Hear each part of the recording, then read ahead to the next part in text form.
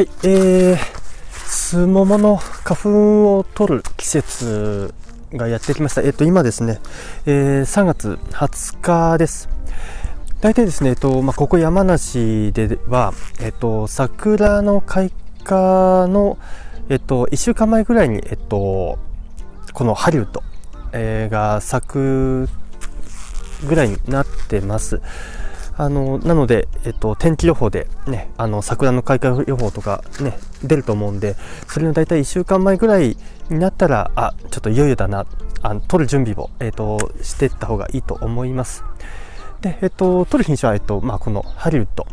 このハリウッドが、えっと、スモモのキヨと並んで、えっと、一番早く咲きますでこのハリウッドの花粉が一番いろんな品種に対してあの受精率があの高いんであの何でしょうこの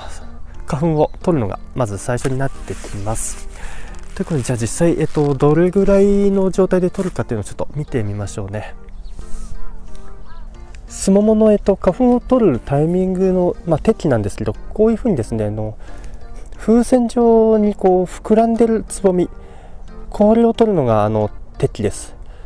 まあ、これよりも若干ね、あの、ピンク色で硬いやつもあるんですけど、まあ、そういうのも取れはしないんですけど、あ取れないことはないんですけど、やっぱこういうふうにね、あの、風船状に、あの、膨らんで今にも咲きそうなやつ。で、まあね、こうやって、えっ、と、1、1、2輪、まあ、5輪ぐらい咲いてるか。これぐらい咲いてる、こんな状態が一番適ですね。まあ、これを見極めて取っていきましょう。落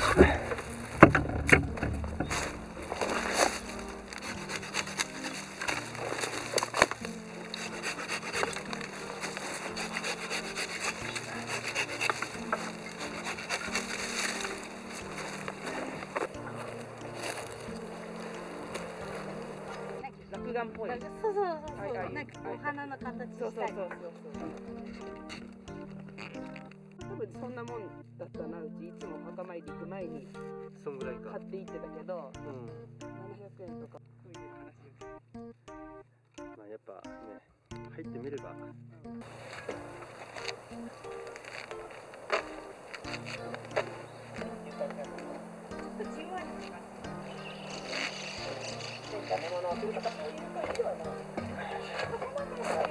い、えー、すももの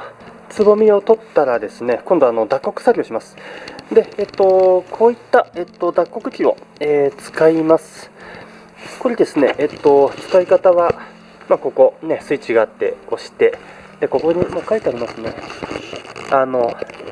一度に入れて5秒で排出。この中に、えっと、1つかみ分入れて花粉を。でガ中でガラガラガラガラってこ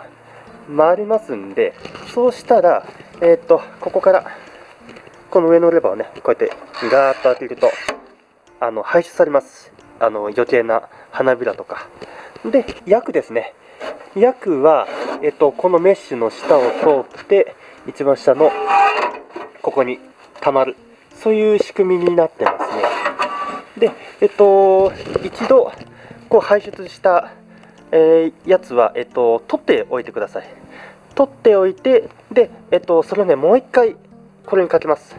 でまた同じ要領でやって2回この機械の中通してえっともうそれは廃止されたやつはもう、えっと、捨ててしまうと。こういった機械が、ね、ない場合ですねあの昔僕やってたのが、えっと、こういう古い、えっと、こういうふるいにですねえっと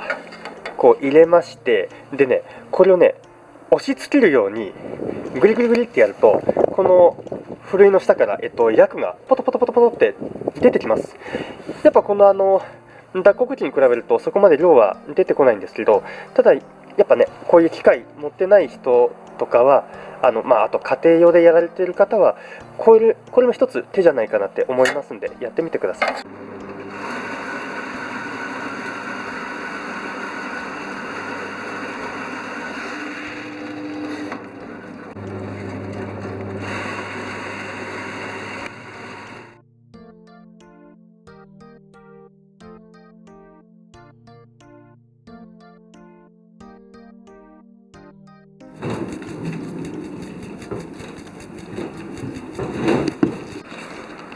はい、えー、ふるいにかけて、えー、薬を、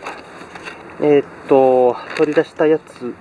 を、えー、ロール紙に開けて、で、あの、牛乳の、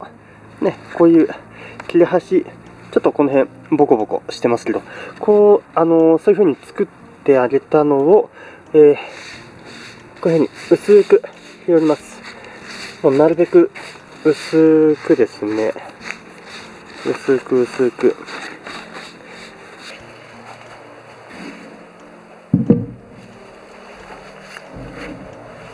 えっ、ー、と、広げたやつを、えー、冷暗所、まあ、光のところですね、に置いて、えー、そうですね、2、3日、えー、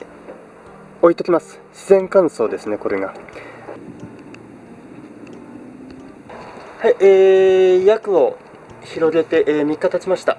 えー、実際解約されているかどうかちょっと見てみましょうね。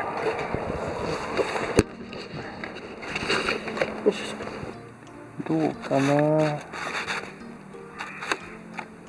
あ、ついてますね。黄色い粉。えー、